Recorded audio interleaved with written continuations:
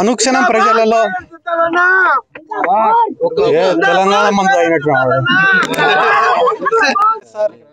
PKM season two టోర్నమెంట్కి మమ్మల్ని ఇక్కడ ఆహ్వానించిన మా పేరుని కిట్టు గారికి సీజన్ వన్ కూడా మమ్మల్ని ఆహ్వానించినాడు. కానీ ఆ రోజు పేరుని నాన్న కుమారుడు మమ్మల్ని ఫోన్ చేసి పిలిచినాడు. పోతే మంత్రివర్గంలో మాకు కూడా ఏవో కొన్ని పనులు అయితే మినిస్ట్రీలో అని చెప్పి ఆ రోజు భయపడి వచ్చినాము. కానీ ఈ రోజు మాత్రం ఈ సంవత్సరం రోజులు అతనితో ఉన్న స్నేహం స్నేహం కోసం ఈ రోజు ఇక్కడికి రావడం జరిగింది. ఎందుకంటే మా జనరేషన్లో ఏదో మచిలీపట్నంకి వచ్చినాం ఆయనను పొగడాలనే ఉద్దేశం నాకు అస్సలు లేదు. కానీ మా జనరేషన్లో మా అందరికన్నా అతనికి మంచి భవిష్యత్తు ఉంటుంది మంచి నాయకుడిగా ఎదుగుతాడనకి ఒక బలమైన నమ్మకం నాకు. ఎందుకంటే ఇన్ని ప్రాంతాలు తిరుగుతుంటాయి కదా ఒక లెగసీని మెయింటైన్ చేయడం అనేది అంత ఆశమాసి విషయం కాదు. వారసత్వం అనేది ఎప్పుడైనా కూడా ఒక బాధ్యతనే తప్ప అదొక ఎంజాయ్మెంట్ కాదు.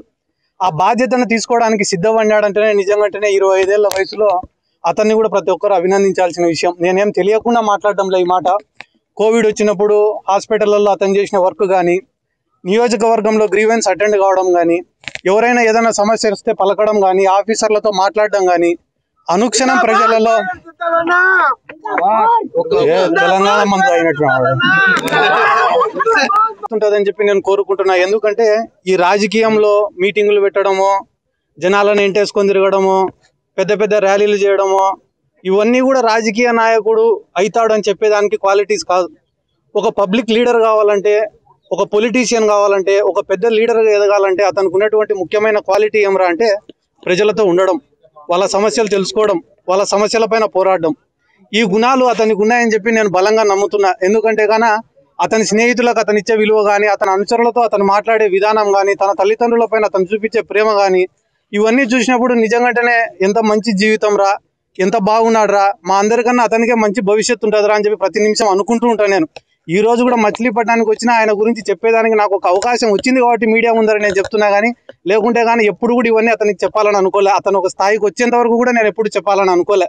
కానీ అతను చేస్తున్న కష్టము శ్రమ ఇంకా ఎక్కువ చేయాలా? పబ్లిక్లోకి ఇంకా ఎక్కువ పోవాలా? ఇంకా ఎక్కువ మందితోటి అటాచ్మెంట్ పెరగాల?